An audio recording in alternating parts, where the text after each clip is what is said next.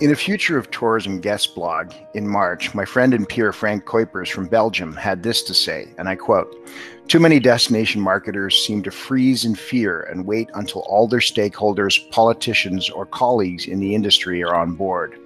This is a perfect example of circular reasoning, refusing to do something new until everyone agrees that it works, even though no one can know that the new thing will work until they try it. How many times have we heard, this should be the new direction, but our people are not there yet. Some people are afraid of transforming tourism because it means losing the perceived stability of business as usual. COVID 19 has made one thing clear it's no use going back to business as usual. In many places, the old ways of business have already been lost. After this crisis resolves, the old usual won't exist either, and that's okay, says Frank Kuipers. My guest today is not afraid to act, to change, to adapt, and to improve. Officially, Michael Nagy is the Director of Marketing Sales for the magnificent Fairmont Copacabana in Rio de Janeiro. Unofficially, if you ask me, I think his title should be Rio's Ambassador Emeritus Extraordinaire, a bon vivant who embodies the excitement, the majesty, and the authenticity that Rio has to offer. In a market that annually sees 70% of its arrivals as international, the COVID 19 pandemic has had a huge impact, and the aftershocks will be felt for years to come. But Michael Nagy isn't waiting for a return to normal or a return to business as usual. He's committed to reinventing Rio's tourism industry to be more resilient, more inclusive, and more successful. When I talk to Michael Nagy, I'm, I'm inspired. His head on approach to accepting the inevitability of change and his focus on getting to work right now on building a better future for Rio is something we can all learn from. Hello, Michael. How are you? I'm, I'm about to call my mother and find out why that wasn't all that wasn't written on my birth certificate. I thought it was. How are you? I'm, I'm actually embarrassed here now. You've, you've, you've set the bar. You've made it too too too official here. Well, like Michael, when I meet people who know you, they all say the same thing. You're your irrefutable energy to to move this industry forward is always there. I've watched you in other interviews. I've seen you in podcasts, listened to you. Um, your energy for all things Rio and all things tourism is remarkable. So you know, take the compliment. it's taken. I'm I'm actually I've written it all down and I'm keeping it in my pocket. When they say have your ID, please, I'm going to say David Peacock said. So, Very good. David, you good? So you're where are you right now? Right this second, I'm sitting inside the Fairmont Rio de Janeiro in my office, uh, having this wonderful conversation with yourself, trying to find out what we're doing tomorrow. So it's going to be fun. So, so in terms of what we're doing tomorrow, let's start with the last year. We all around the world work in various destinations and industries that have been hugely impacted. And I think it's really valuable when we share what that's been like. There's a lot of commonalities and a lot of differences tell me, you know, in an overview sort of way, what's it been like since last March in, in Rio at the Fairmont in, and in the in the city of Rio? Well, geez, how do you explain the apocalypse? Uh, basically, it was uh, this property, uh, the first Fairmont in South America, Accor Hotels, a big investment. We put it together in five months. We became the reference hotel in the city.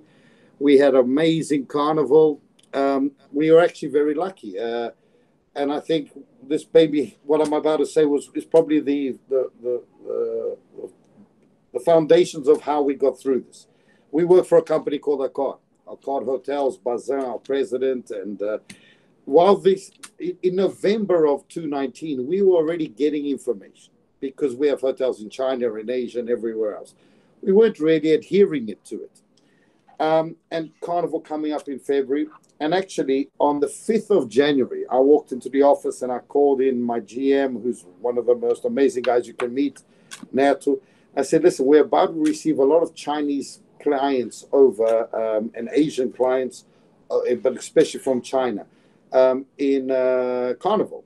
Don't you think we should like just prepare our team because we don't want them to mistreat the clients? So actually, on the 5th of January, we actually brought in a, a medical crew to teach every single one of our staff what was COVID. Now, what we had given to us back in January 2020 is nothing that we know today. But again, we started implementing um, alcohol dispensers through the hotel, and we shouldn't be scared of the guy wearing the mask and everything. And our team took it easy. It worked like hell. Um, it worked very well. So we go through Carnival, what a celebration, which, you know, being very privileged to be in Rio. And who hasn't been to Rio Carnival? Get ready for next year because if there's one carnival we are really going to make a fun with, it's next year. Um, so we do carnival, and then the lockdown came. Um, caught us all by surprise. If we look back, Accor and as a company, they took the best decision. We returned every penny to every client who wanted their money back. Um, and we started a process. So the first thing was getting everybody home, closing the hotel, and how to start working. And locking somebody like me up at home wasn't the best of best option. But anyway, so we started. Now, as we start this process, the first thing we did, and I think again, I, am going to say this a few times, and there's a reason because I do believe that you actually learn from others. So our president Bazin does a podcast, and he says, "Guys, take care of each other." So what me and my team did, we spent the next three months, and I'm saying three months, 4,263 people is who we spoke to. We were on calls every single day and calling people just, how are you? How are you doing? Do you need anything? And we literally did that for three months. And I was getting on calls at eight in the morning and finishing at eight at night, other than the business calls and the budget calls and what have you. Um, and I think getting in touch with people and at the beginning it was, oh, this is going to end, this is going to end. And as it prolonged, it's not going to end, it's not going to end. And it made you human. It made you actually look at the human being and see how, how, how important going to. And what most surprised me, David, was that we would call somebody from an agency, and we'd convince them to put everybody of the agency online, and they hadn't actually spoke to each other for three months. So we were proud to actually be putting putting people together to talk about things, I think is what we do as a company remarkable response, and, and, it speaks to the kind of um, caring and quality that you've always delivered, not just as Michael Nagy, but as Fairmont as well. I'm I'm not surprised to hear that level of attention. I'm encouraged to see that you reached outside your own ranks and shared with the people who make up your suppliers and your and your you know the people who work with you. And I know that I know that you were reaching out constantly to your guests as well to reassure them that um, as we reemerge, this will be better. Um, but as you say, back in February, March, April, we didn't know what that looked like.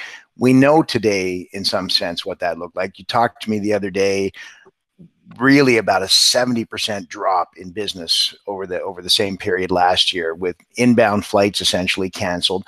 70% of your, it's not quite 70% of your inbound is international completely.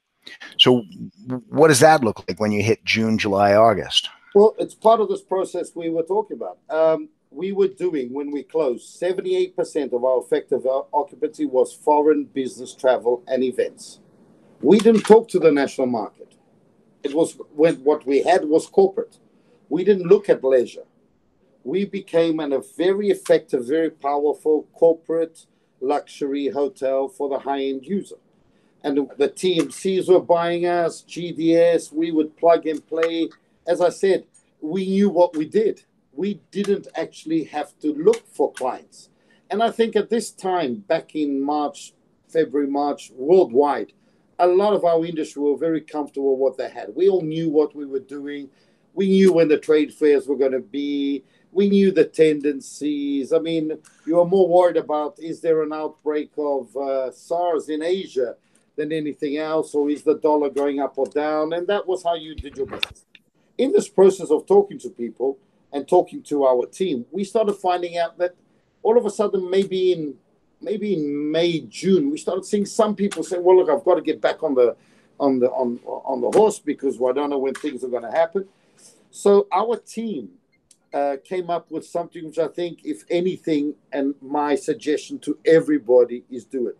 Stop owning your own content. Stop making it difficult for people to get access to your information. So, what we did was we took every single piece of writing, picture, video, photo, logo, story, anything I had in marketing, we put together the Fairmont Tools uh, sales kit, and I'll send you a copy afterwards.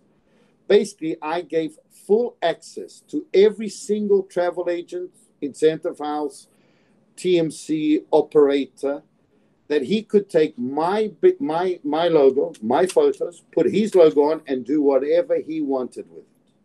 Michael, that's okay. That's a, that, I'm going exactly the same place as you. Why? Because to me, that's the future of tourism—a distributed network of information that's validated in other places. But please tell me the why.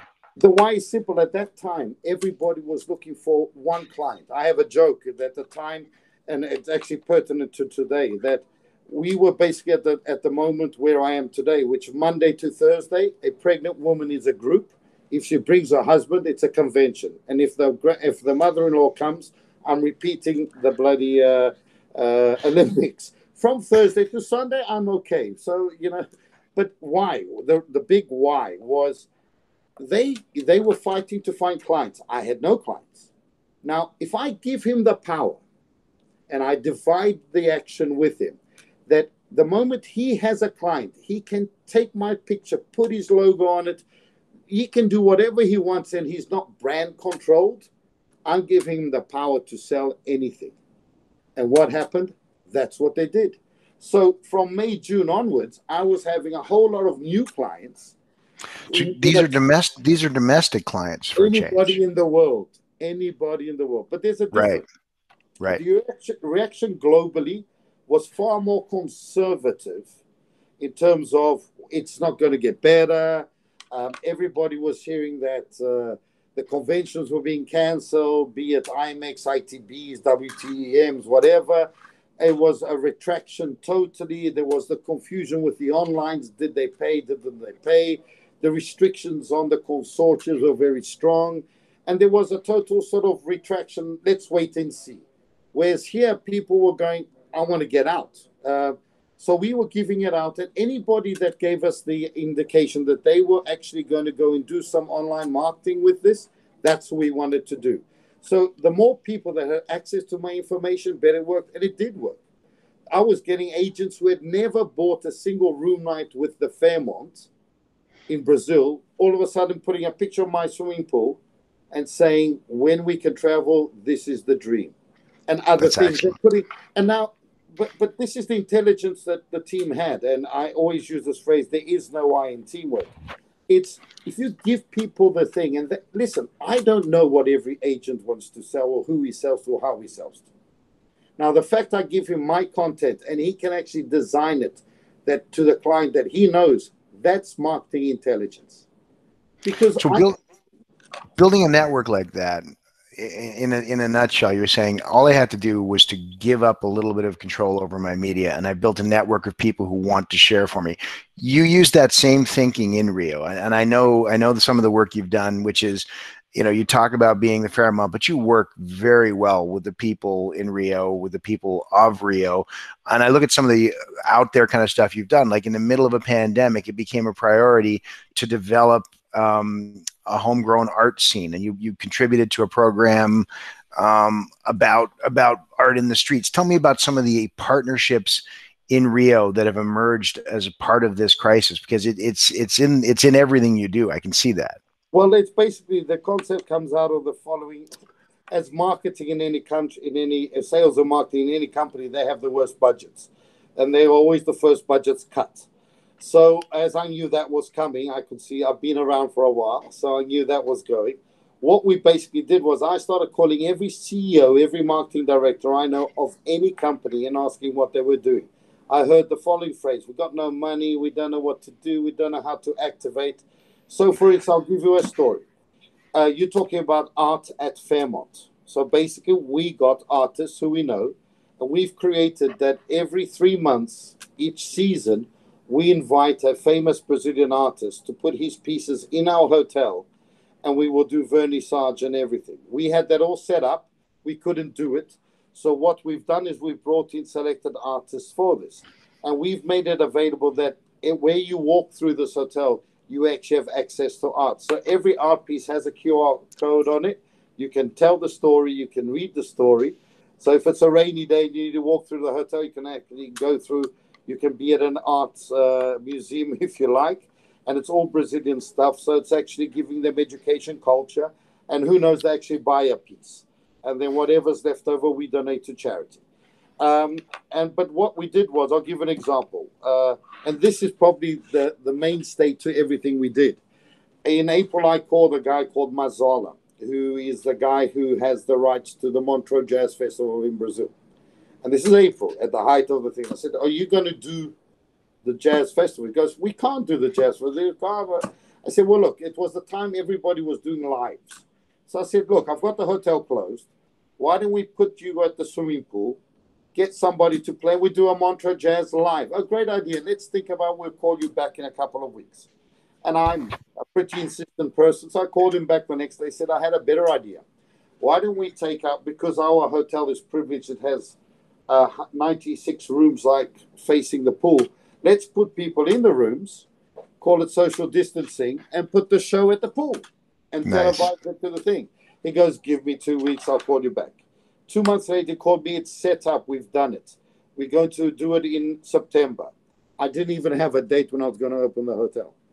Um, and what happened was in September, we did the only Montreux Jazz Festival live from Rio. Macy Gray played in a studio in, uh, in New York and was televised here locally.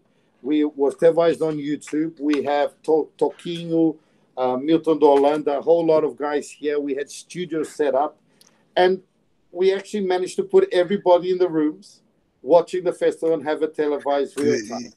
Fantastic. So one of the one of the discussions I've been really intrigued with the last couple months is this idea of the virtual destination. And in the world today, we know now we reached a point a long time ago when more people will experience your destination virtually than will ever actually visit it.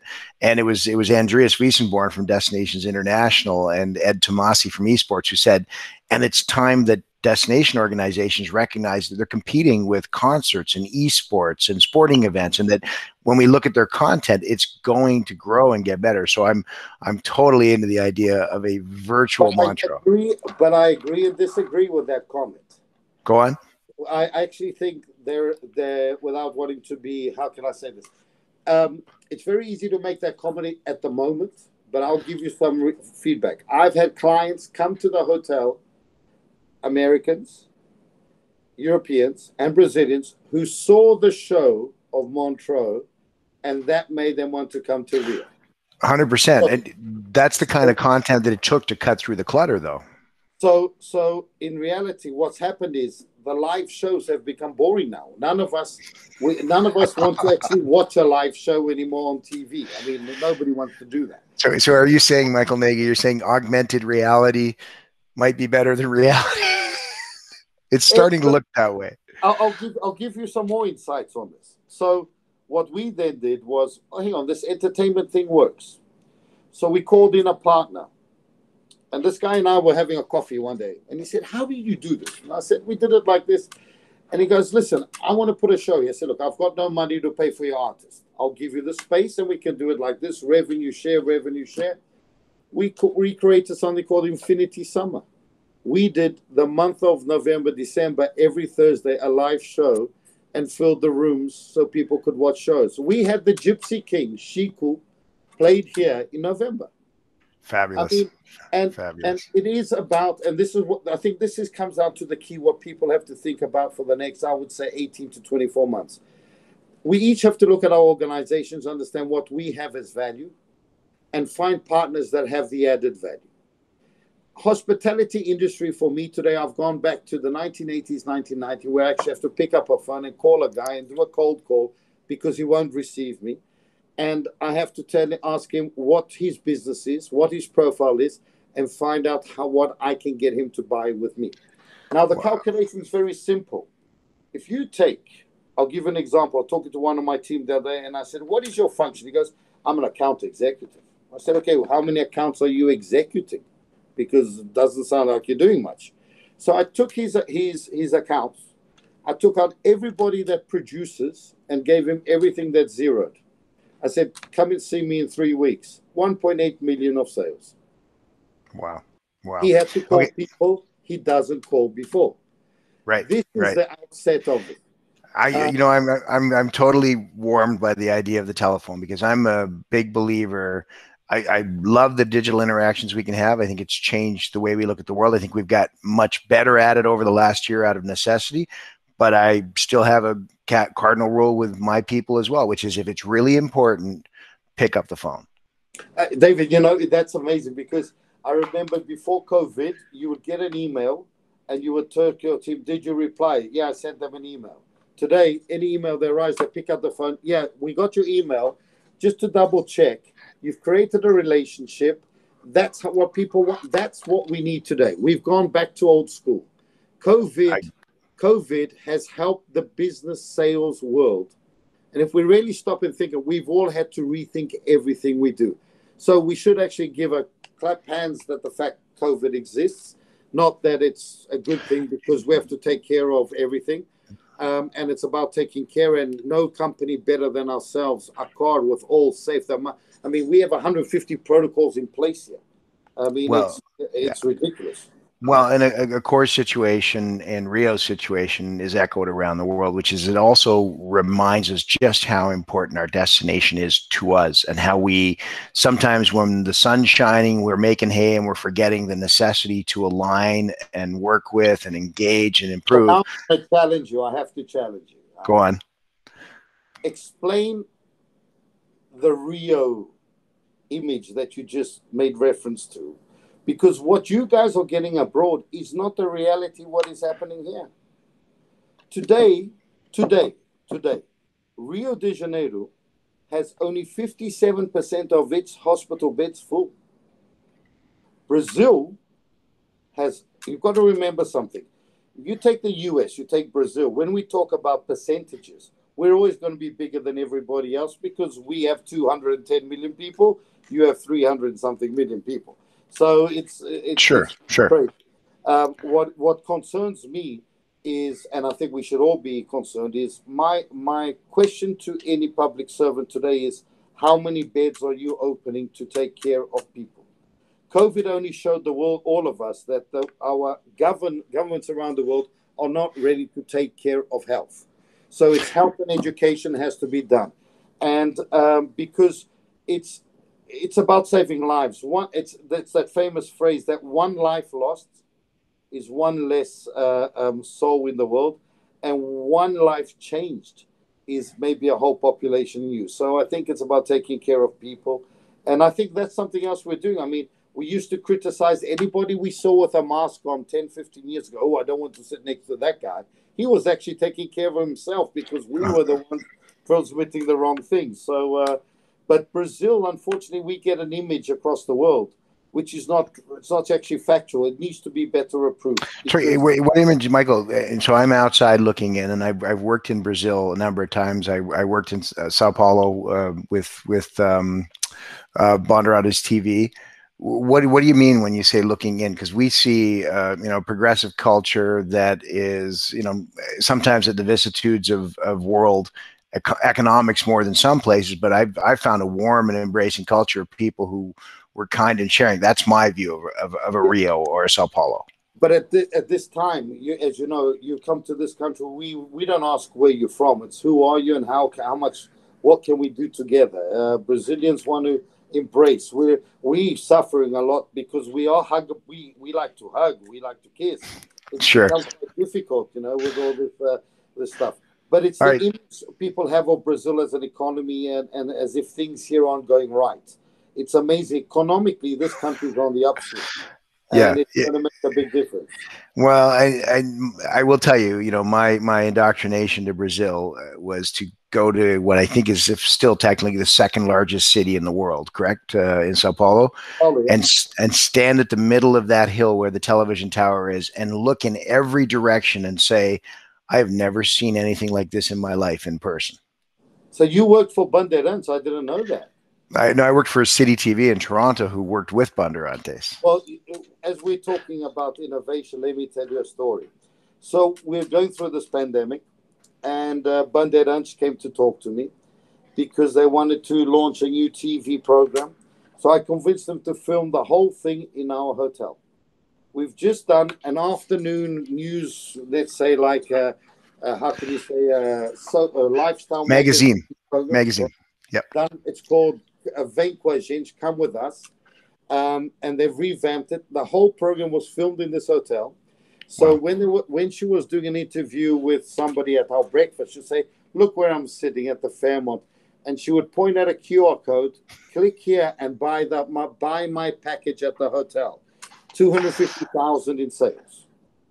Fantastic. Okay, so that that leads me into my next question, which Michael, I could talk to you all day. I don't want to take your all your time. I'm, I, am not going anyway, David. I'm, right. I'm we're we're we're going to come back and have another interview on this. But, but in closing this one, keeping it into the half hour bracket that it fits, um, I want to ask you about luxury because I know it's something you have worked so hard on um, not just doing but understanding and and helping to shape it so what is luxury and I, I, I asked that question in the context of one of the things we haven't talked a lot about in this industry is how does luxury recover and i think of cruise lines and top end experiences but i know you have a personal philosophy on luxury so if you could in, in closing share us your philosophy of luxury experience you have to create the experiences people uh, in this moment we've lived in, more than ever, people want to have something. They want to feel important. They want to feel different.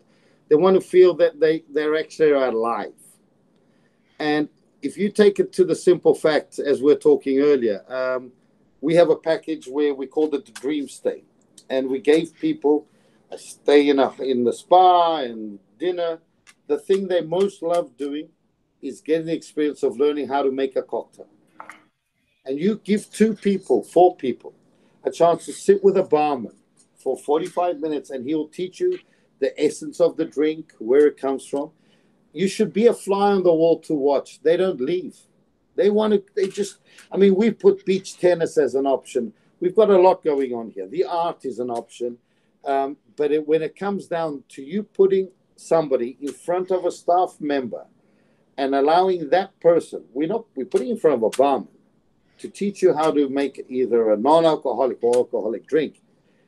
It's it actually comes down to probably the essence of what Fairmont stands for, which is we have a saying, well, our, our phrase is that a moment becomes a memory. That's experience. It's making that one.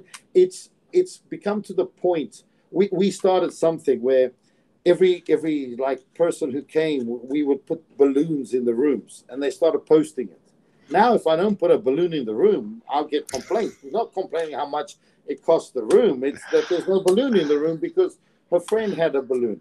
So it's what's actually teaching us is that luxury is experiences, and people immediately like to see that other people had an experience and want to have the same. But what's better than all of this? We all make it our own at the end of the day because we're all different, and that's what's fun. So if I had to say to anybody uh, in the world is luxury is the future. I think we come to a point where we know what we want. COVID's given us enough time to figure out. We, if you haven't had a psychiatrist before, you've probably done a lot of your own psychoanalysis over COVID.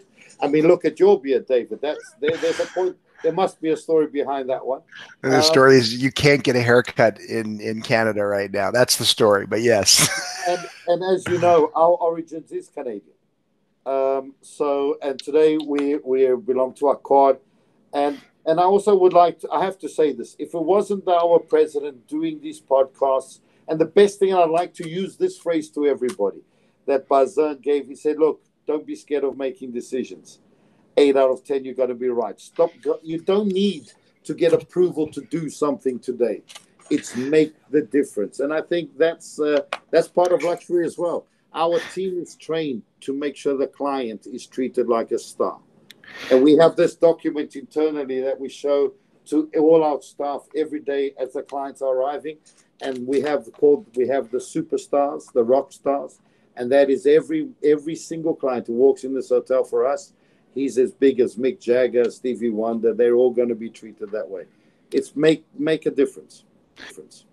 So, Michael, I'm I'm so thankful for having you here today. Um, you know that idea that that Michael Nagy isn't afraid to change, adopt, and improve. I think we've we've hit on that in in spades. But I'm really appreciate the idea. Luxury doesn't necessarily have six zeros behind it. Luxury is someone spending time with you, helping you make a, a cocktail you've never made before. And I think that's really humanizing thought, as is the idea of picking up the phone. It's it's great to talk to you. I want to circle back with you as we roll into the summer and, and, and see what it's going. And man, if I could get there for for the um, the first carnival in two years, that would be a cool thing too. So well, I, it's I it's a great I've, pleasure. I've got four Canadians living here because I don't want to be back in the cold. There it is. Four guys have left. They can. They're working. They, they can't get to the office and they've come and chosen to stay at the Fairmont for three months. I was, was going to say, so what about you? Took all the Fairmont, Kananaskis Lodge, Calgary uh, P- snowboard instructors and turned them into surf instructors. um, uh, I can tell you what we've done with the with the with the, uh, with the um, fashion industry. We've gone further. Go on. We had a client who came to me. He wanted to do a launch of a product here. So I said, okay, I like the idea but only if we can make money together. He goes, well, how are you going to make money with me? I said, every single piece of clothing, I'm going to give you, I'm going to create a code, and you're going to promote it on every single piece of clothing. That when people buy it, they get a discount and a special package to stay at the hotel, and you will give them a price. Basically, 78,000 pieces of clothes for the new collection of Colcci, the girl from Rio. On the etiquette, there is a QR code you click on it and you can buy and you get a discount and a special package to stay at the Fairmont. That's luxury, that's experience, and that's unique. To me, that sounds like that sounds like living in Wallpaper Magazine. that's pretty well, cool. Listen, it's it's all about the, uh, Roberto Medina, who is the owner and the creator of Rock in Rio. He says a phrase that we don't think outside of the box here in Brazil because we don't actually have a box. So my suggestion to everybody: stop using that phrase and don't be scared to make mistakes. Don't be scared, you because just what just by trying, you've made the world a better place. Go for it. It's out there. You can find it.